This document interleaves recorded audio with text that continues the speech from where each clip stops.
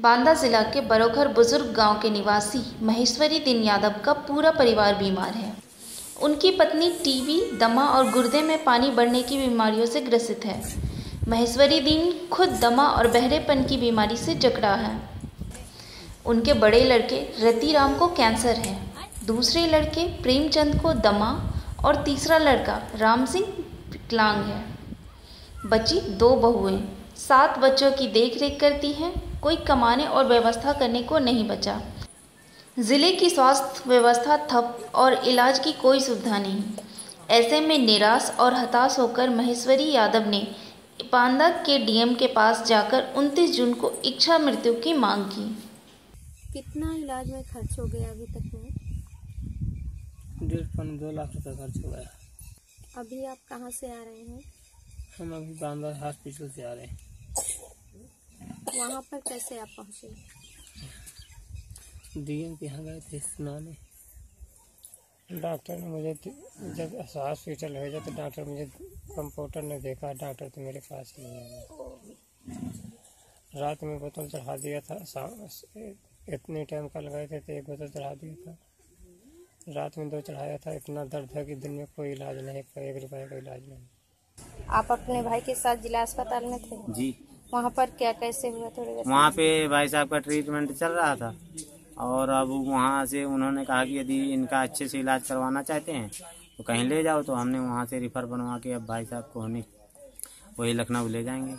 बताइए कब से आप ऐसे विकलांग हैं?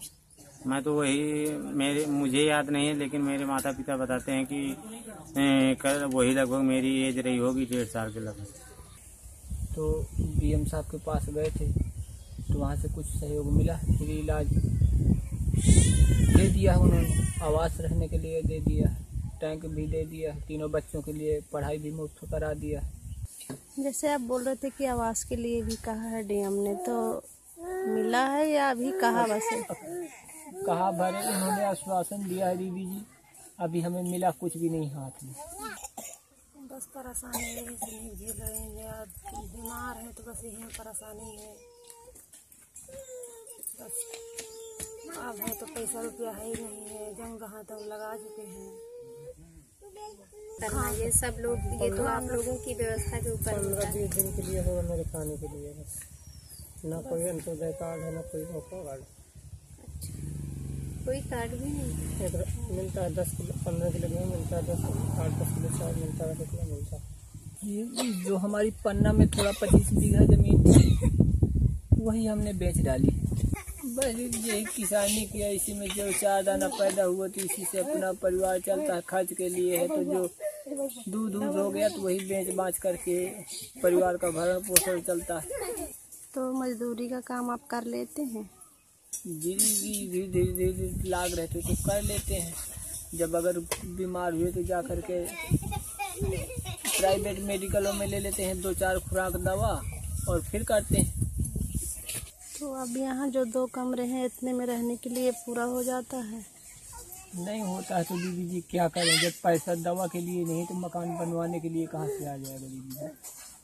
अब इतनी पत्तियाँ पड़ी हैं तो पत्ती तो अब जेठ पूता तो पत्ती का अपनी का बताऊँ? ये पत्ती के मारे दिमाग। फिर भी ये गुर्दा में पानी बढ़ है मेरे। बहुत से इलाज कराई लड़का ने। तब ये पानी सूखा। तो बेटा अब कलमा नहीं रहा न कुछ करने लायक, न धरने लायक।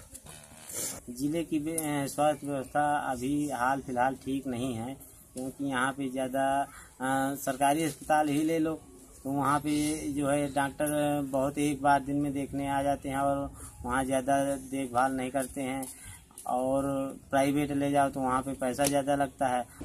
सर कैंसर और टीबी जैसे गंभीर बीमारियों के लिए डॉक्टर्स यहाँ पर क्या हैं? कैंसर का तो यहाँ पर कोई स्पेशलिस्ट नहीं है न्यूरोलॉजी का कोई एक्सपर्ट नहीं है न्यूरो सर्जरी का कोई एक्सपर्ट नहीं है। स्वास्थ्य व्यवस्था बांदा की मैं तो पिछले बत्तीस साल से जूझ रहा हूँ यहाँ की व्यवस्था में कोई हम लोग यहाँ दूसरे शहरों से कम से कम पच्चीस साल पीछे हैं। जो भी यहाँ पर एमआरआई आज तक के नहीं है सी टी स्कैन एक प्राइवेट सेक्टर में है पैथोलॉजी जो है वो सब जो है अनक्वालिफाइड लोगों द्वारा चलाई जा रही हैं। कुछ गिनती चुनती के चार, तीन, चार नर्सिंग होम हैं और बाकी सरकारी व्यवस्था जिसके सहारे यहाँ पर के लाखों की जनता है। अब बताइए कि यानी हमारे कोई परिवार में कोई कुछ करने वाला तो है नहीं। तो इसके सिवा यदि शासन प्रशासन कुछ कर दे तो ठीक है इससे अच्छा है कि मर जाना ही अच्छा है।